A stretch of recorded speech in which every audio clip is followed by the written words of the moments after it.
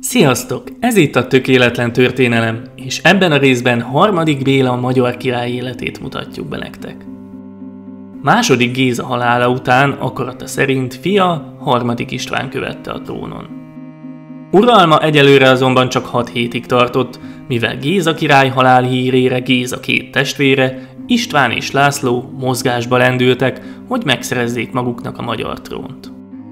Géza egyik testvérét, Istvánt a bizánciak támogatták, viszont Magyarországon nem volt hatalmi bázisa. Másik testvérét Lászlót pedig a magyar urak támogatták, és őt meg is koronázták 1162-ben második László néven. Harmadik Istvánnal Kapuvárnál ütközött meg, aki vereséget szenvedett és Ausztriába távozott. Második László uralkodása azonban mindössze 6 hónapig tartott, 1163-ban megmérgezték és meghalt. A trónon Géza másik testvére követte, negyedik István néven. Alig öt hónapnyi uralkodása alatt sikerült teljesen népszerűtlenné tenni magát az országban. Feltétlen Bizánc hűsége miatt a főurak és a nép gyűlölte az új királyt, és mozgalom szerveződött megbuktatására. Nyugat-Európában komolyan aggódtak, hogy a magyarországi egyház elszakad Rómától, mivel negyedik István megszakított minden kapcsolatot Rómával, nem fogadta a pápa követeit sem, és pénzt is bizánci példára veretett. Eközben harmadik István Ausztriában zsoldosokat toborzott, és megnyerte a nyugat-magyarországi főurak támogatását. Ezzel a bázissal a háta mögött indított támadást nagy bátyja ellen. A csatára Székesfehérvár mellett került sor 1163. június 19-én. Negyedik István Bizáncba menekült, és harmadik István immáron másodszor elfoglalhatta a magyar trónt. Negyedik István újra Bizánc segítségét kérte, hogy visszaszerezze a trónt, de Mánuel bizánci császár belátta, hogy az reménytelen. Ehelyett harmadik István öccsének, Bélának felajánlotta lánya Mária kezét. Ez azzal járt, hogy Béla Bizáncba költözik, valamint Mánuel nász ajándékba Dalmáciát és Horvátországot is kérte. Cserébe hajlandó volt lemondani negyedik István támogatásáról. Ebbe a magyar király beleegyezett, és Bélát Bizáncba küldte, aki felvette a keleti kereszténységet és az Alexios nevet. Mánuel létrehozta számára a despotész, vagyis uralkodó címet, ami a császár után a következő tisztség volt. Megállapodás ellenére a bizánci magyar harcok folytatódtak, mivel Mánuel ígérete ellenére több ízben segítette negyedik Istvánt sikertelenül, harmadik István pedig igyekezett uralmát megszilárdítani Dalmáciában. A váltakozó sikerű háború 1167-ben ért véget, amikor is Mánuel figyelme Itália felé fordult. A bizánci udvarban élő Béla helyzete is megváltozott, mivel 1169-ben Mánuelnek fia született, így már kisfiát és nem Bélát tekintette örökösének. Eljegyzését is felbontatta, és lánya helyett sógornőjét, Antiókiai Ágnest adta hozzá feleségül, aki Magyarországon az Anna nevet kapta. Harmadik István a bizánci háborúk után a belső nyugalom megteremtését tűzte ki célul. Azokat, akik végig kitartottak mellette, magas méltóságokba helyezte.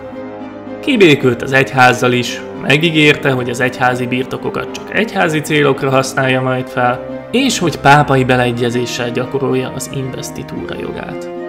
Ezekkel az intézkedésekkel megszilárdította belső bázisát, azonban ott volt még a trónröklés kérdése. István egyetlen fia még csecsemőkorában meghalt. A helyzetet súlyosbította, hogy a király alig 25 évesen váratlanul elhunyt. A király halála után két lehetséges utód jelölt, két öccse, a Bizáncban tartózkodó Béla és az itthon nevelkedett Géza lett. A magyar főurak nem tétováztak, azonnal követeket küldtek Bizáncba Bélához, hogy jöjjön és foglalja el a trónt.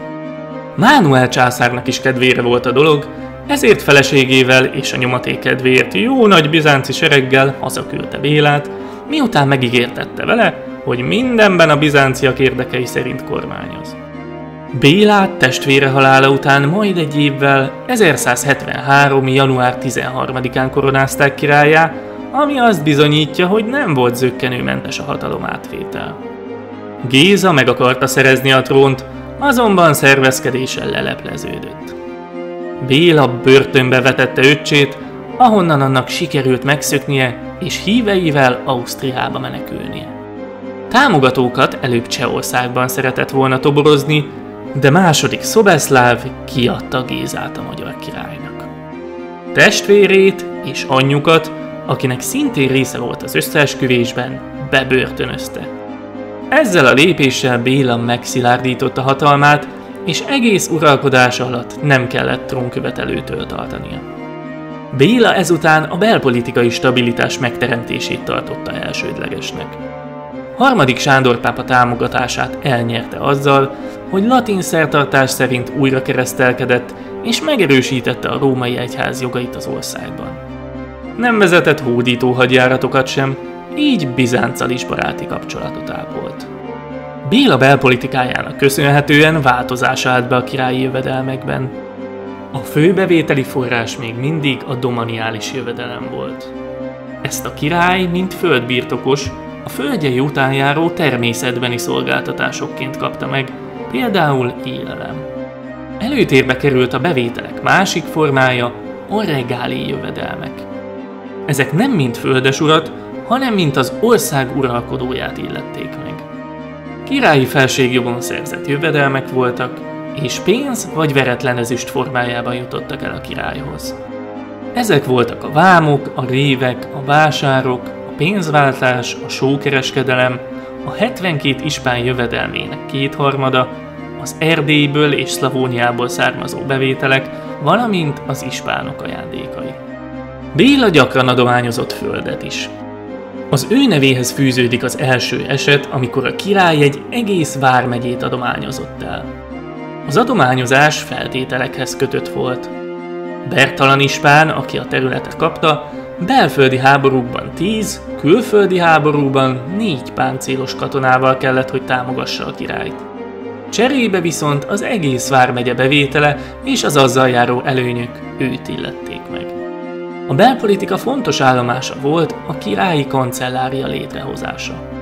Ez azt jelentette, hogy a királyi kápolnát és a kancelláriát szétválasztotta, amivel csökkentette az ügyintézésben jelentősen résztvevő egyházi befolyást. A 12. századra szükségesé vált az írásbeliség fejlesztése, a megnövekedett ügyintézési terheket csak erős, jól működő királyi kancellária tudta ellátni. A jegyző, vagyis a nótárius fogalmazta meg az iratokat, amit aztán az írnok letisztázott és végleges formába öntött. A kész oklevelek lepecsételése a kancellária vezetője a kancellár feladata volt. Béla azt is elrendelte, hogy minden eléje kerülő ügyet írásban rögzítsenek. Ez is segítette a kancellária önállósodását. Béla támogatta a szellemi műveltséget. Számos magyar ifjú franciaországi iskoláztatásáról gondoskodott. Szintén Franciaországban tanult Béla kancelláriai jegyzője, akinek nevét nem ismerjük, ezért általánosan Anonymusnak nevezik. Az ő nevéhez fűződik a honfoglalás részletes történetének megírása, a Gesta Hungarorum. Művében a magyarok történetét az ős hazából való kivonulástól egészen Szent Istvánig mutatja be. Ebben az időben keletkezett a Praj Kódex, amely azért jelentős, mert a legkorábbi összefüggő magyar nyelvemléket, a halotti beszédet tartalmazza. Béla 1192-ben szenté avatta első László királyt. Ezen kívül számos egyházi intézményt alapított. Ciszterci monostorok jöttek létre Zircen, Pilis Szent Kereszten, Szent Gotthárdon és Pásztón. Alig, hogy Béla megszilárdította belső bázisát, 1180. szeptemberében Mánuel bizánci császár meghalt. Egy csapásra érvényét vesztette az eskü, amelyet Béla tett még 1172-ben, hogy figyelembe veszi Bizánc külpolitikai érdekeit. Béla először a bizánci fennhatóság alatt álló magyar területeket vette vissza. 1181-ben Dalmáciát, a Szerémséget, valamint Barancsot és Belgrádot is. 1188-ban Vladimir halicsi uralkodó Béla segítségét kérte, hogy segítsen visszavenni elveszett trónját. A magyar király bevonult az országba, de győzelme után nem Vladimirt, hanem saját fiát, András tette meg uralkodónak, és Vladimirt Magyarországon börtönbe vetette. Vladimir azonban megszökött börtönéből, és lengyel támogatással elűzte Andrást a trónról, akit a halicsi alatvalók egyébként sem kedveltek agresszív politizálása miatt. Időközben Anna királyné meghalt, és Béla 1186-ban 7. Lajos francia király leányát, Capet Margitot vette feleségül. A házasság azért volt jelentős, mert a francia szövetség komoly segítséget jelentett Barbarossa Frigyes német császárral szemben. 1189-ben Magyarországon keresztül haladt a harmadik keresztes hadjárat, amelyet Barbarossa Frigyes vezetett. Ekkor már nem volt olyan kiélezett Magyarország és a császárság viszonya, ezért a király szívélyesen fogadta a császárt. Még egy dinasztikus kapcsolatot is elterveztek. Béla leánya és Frigyes fia eljegyezték egymást, de a fiú váratlan halála miatt ez a kapcsolat nem jöhetett létre. Élete vége felé Béla is fontolgatta egy önálló keresztes hadjárat indítását, de betegsége közbeszólt.